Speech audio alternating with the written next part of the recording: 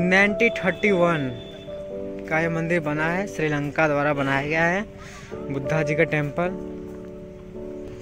बुद्धा कहते हैं, मुझे गाली दो, मुझे मारो, मुझे हरा दिया।